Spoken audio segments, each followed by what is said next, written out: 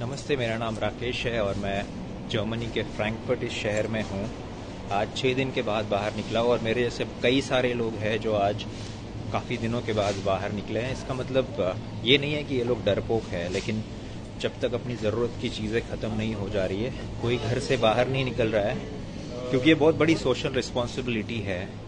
और ये वीडियो मैं उन लोगों के लिए बना रहा हूँ जो हमारे देश में ये सोच रहे हैं कि कोरोना भारत का, भारत में आ नहीं सकता फैल नहीं सकता, या फिर मैं बहुत यंग हूँ हमारे यहाँ टेम्परेचर बहुत ज़्यादा है तो ये सेम गलती कि फैल नहीं सकता, ये सेम गलती जो है, दो हफ़्ते पहले इटली ने की थी, स्पेन ने की थी, और फिर जर्मनी ने की थी।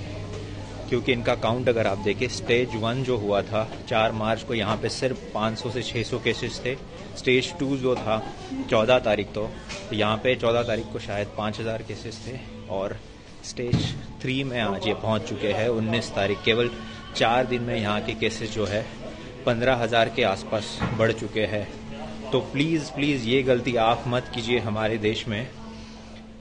घर पे रहिए, घर से बाहर मत। निकलिए क्योंकि यार हमारे देश में अगर ये फैल गया ना तो बहुत बहुत ज़्यादा मुश्किल हो जाएगा। क्योंकि ये देश जो है ये बहुत एडवांस्ड है। इनके पास हॉस्पिटल्स और इन, इन, इनका जितना पॉपुलेशन है ना उसके कंपैरिजन में हॉस्पिटल्स और वो बहुत ज़्यादा है। हमारे देश का पॉपुलेशन है 1.3 बिलियन हमारे यहाँ अगर ये फैलना चालू हो गया तो रोकना मुश्किल हो जाएगा।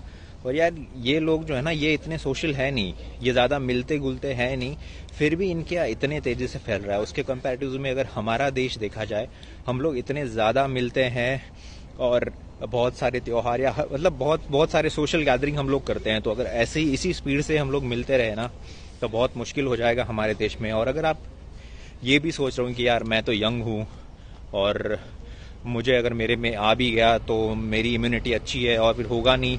लेकिन अगर आपके बॉडी में है, आपको कुछ हो भी नहीं रहा है छः सात दिन तक आप उसको लेके चल रहे हो, लेकिन आप जब घर जाओगे तो आपके घर में जो बुज़ुर्ग है, बच्चे हैं, उनको